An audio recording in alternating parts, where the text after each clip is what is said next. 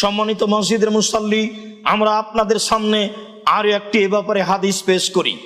আব্দুল্লাহ ইবনে আমর রাজিয়াল্লাহ তালাহ বলেন, রাসূল সাল্লাহ আলী ওসাল্লাম বলেছেন, আল কোরআন ইয়াসফানিল আব্দে। নিশ্চয় কোরআন এবং সিয়াম বিচারের মাঠে দাস দাসী মানুষজনের জন্য আল্লাহর নিকটে সুপারিশ করবে।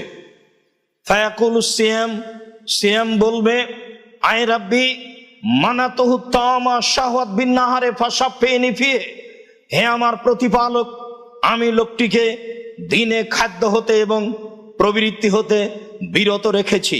তুমি এই লোকটির ব্যাপারে আমার সুপারিশ গ্রহণ করো, তুমি তাকে জান্নাতে দাও।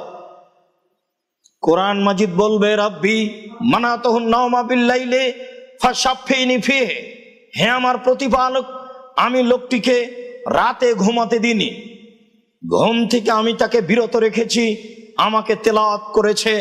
তুমি লোকটির ব্যাপারে আমার সুপারিশ গ্রহণ করো, তুমি তাকে জান্নাতে দাও।